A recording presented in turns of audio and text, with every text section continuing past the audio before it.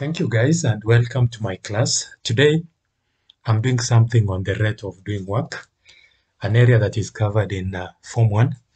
I'm going to approach this area using a question and the question goes that uh, 150 examiners, each marking 80 scripts per day, are needed to mark an examination in two weeks. So the question asks, how many days will 200 examiners, each marking 40 scripts a day, takes to mark the same examination? That is, 150 examiners, each marking 80 scripts per day, are needed to mark an examination in two weeks.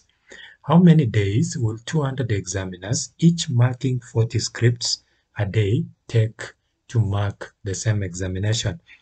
Now, to work this question, I want us to consider this, that already we know 150 examiners marking 80 scripts a day takes two weeks.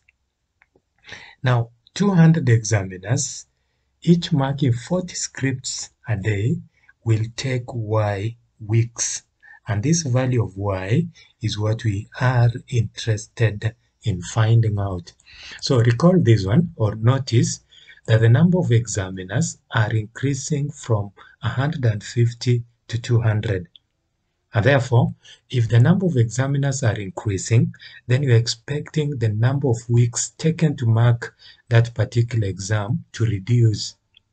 And therefore, we are going to notice this, that examiners increases in the ratio 200 is to 150. Therefore, the number of weeks will reduce in the ratio 150 is to 200, which is the same as 150 over 200. Let's just call this one equation 1. Similarly, if you look at this, the number of scripts marked per day per examiner is actually reducing from 80 to 40. So here we are noting that the number of scripts reduces in the ratio of 40 is to 80. Now, if the number of scripts are reducing, then you're expecting the number of weeks to increase because the lesser script you mark, the more time you're going to take. And therefore, we are going to have the number of weeks increasing in the ratio 80 is to 40.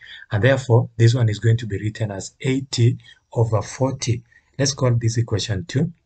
Once you have this equation 2, we now proceed as follows, that therefore the value of y will be obtained by multiplying this 80 over 40 times 150 over 200 times the time given here, which is two weeks.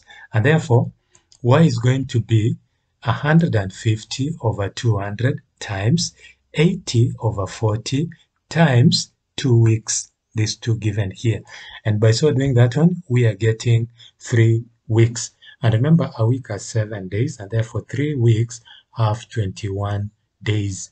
So it therefore means that 200 examiners each marking 40 scripts a day will take 21 days to mark the same examination so i believe that short demonstration of that uh, question has enabled you to understand more and the knowledge that you obtain can actually be used to solve other questions related to this uh, question. Remember to subscribe uh, for more uh, classes and more lessons to follow. And uh, thank you for finding uh, time to be with me. Thank you.